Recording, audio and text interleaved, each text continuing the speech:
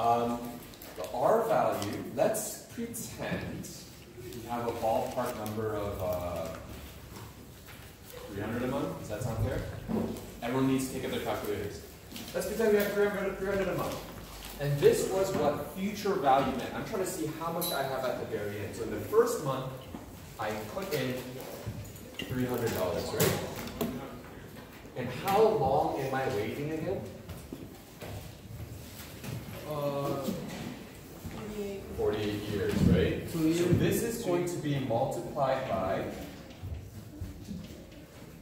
this interest rate for 576 months. With me?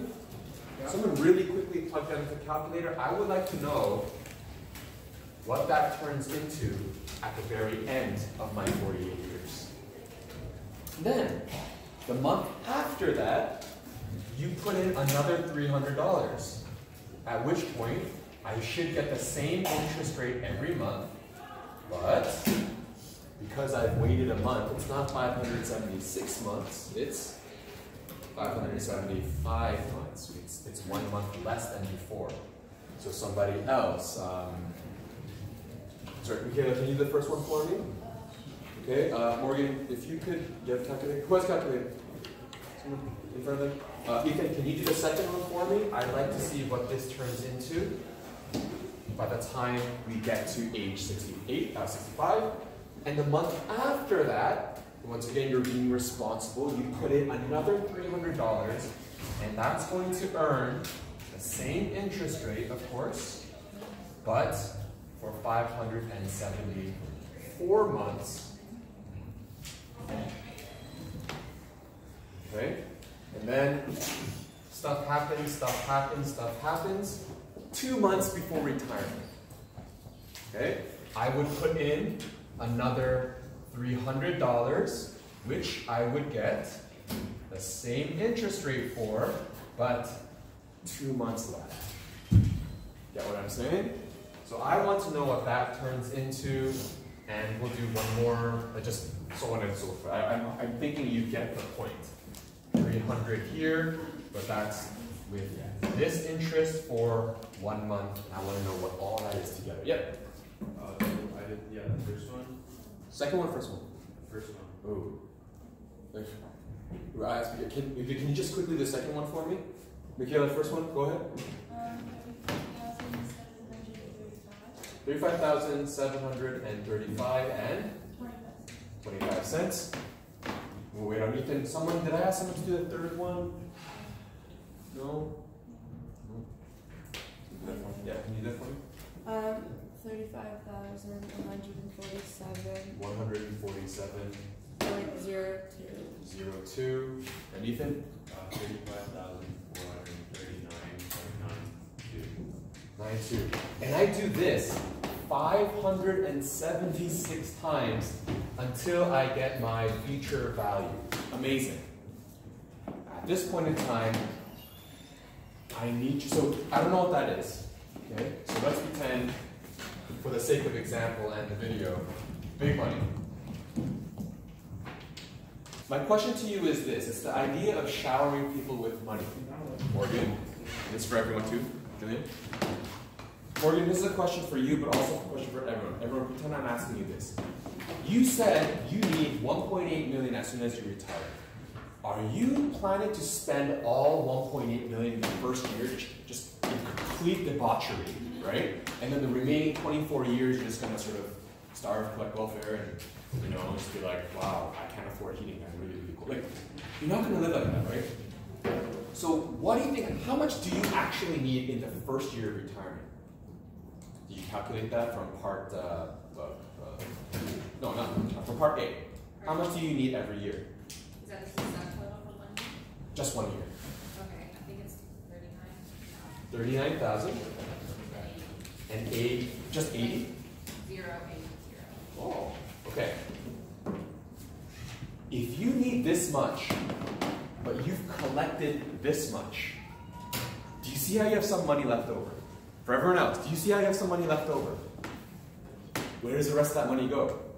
1.8 million, you take away 40,000, you still have 1.76 million dollars. Kid, whatever you want, buy a house, go to vacation, Oh, no. poker. No, no. Okay. Remember, this, this is supposed to be your retirement fund. Did we not say we're not going to waste in complete debauchery? If I spend this much, I still have close to 1.8 million, and 1.8 million is going to continue to grow. So here's the abstract thinking portion. Do you actually need 1.8 million exactly at 65 to 80 uh, years of old, years of age? You can have less because it's still going to continue to grow. This is present value. If I need, so here's the part, here's the math portion. If I need this much at the age of 65, how much do I need at the age of 65? Yeah, it's not a trick question. Just answer it clearly. If I need this much at the age of 65, how much do I need at the age of 65? Right. If I need $39,080 at the age of 66, how much do I actually need at the age of 65? In other words, you have one year to build interest. So do I need more money here or do I need less money here? Less. You see what I'm getting at? Julian, if you're planning, if you're saving up for a vacation for next year, do I need all of that money right now? No. In the same way, if you're saving up for this much next year, how much money do you need now so that you can grow to that? To next year. Right? So do you see how it's sort of different, but I'm going in opposite? Next. I need $39,080 at the age of 67. I have two years to get to that point. How much money do I need right now to let it go to that point? Do you, do you think it'll be more than 39,000 or less than 39,000? Less. That is the idea of present value. How much do I need now to reach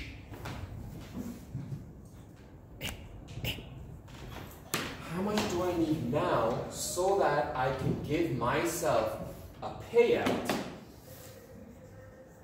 of 39,000 every year? And it's going to be less right now. Do you want to calculate it? Well, let me give you the, the long way and the annoying way, and then we're going to start using that formula that you see in uh, part F. Okay? So here's the deal.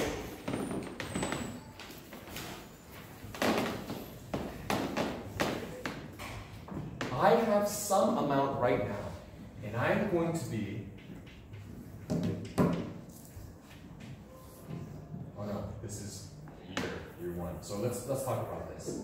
We have a principal that I do not know. I have my interest rate is 10%. Let's pretend it's still 10%. How many times am I taking out money a, uh, a year? Just once. So that's one. And how many years am I taking out? Retirement, retirement until you pass away. Everyone with me? Twenty-five. 25.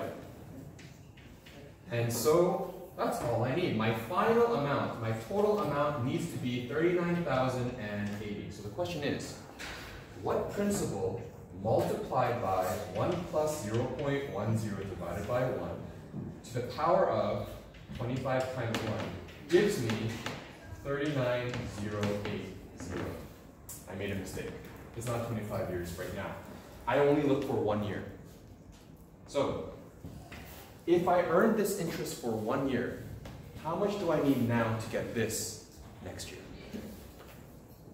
Someone work that out for me? So in other words,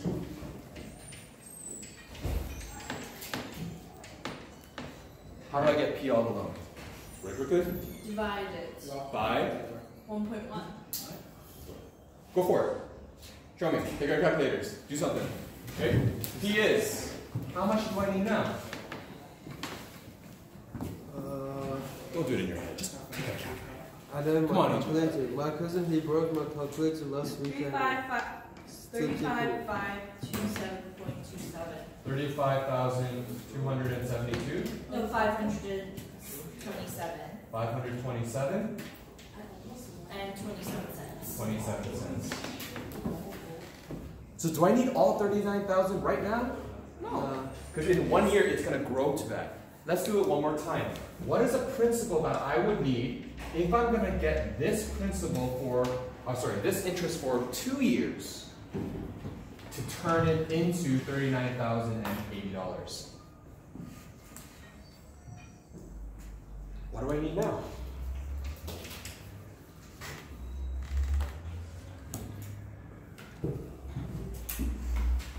I have a calculator. Use your phone if you like. Can you do that for me?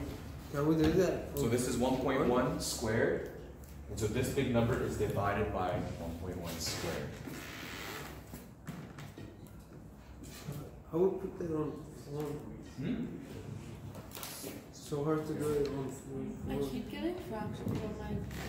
That's fine. Press the button that transfers in. Ooh. Go down, maybe. Classical, classic, maybe. Show three nine zero So I eight wasn't zero getting it divided by before, but now one. it's Oh, there it is. There it is. Thirty-two, Thirty-two thousand two hundred ninety-seven. thirty-two thousand two hundred ninety-seven point Five two. five two. So do you get it? You don't actually need all one point eight million when you get to sixty-five. Why? Because you still have time. You have twenty-four years, you have twenty-three years, you have twenty-two years, you have twenty-one years for each little piece to grow. So, my question back to you then is, do you want to calculate 25 years worth of this to figure out how much you need right now? Or would you like an easier formula? Easier. Okay? That, that, that's where we're getting.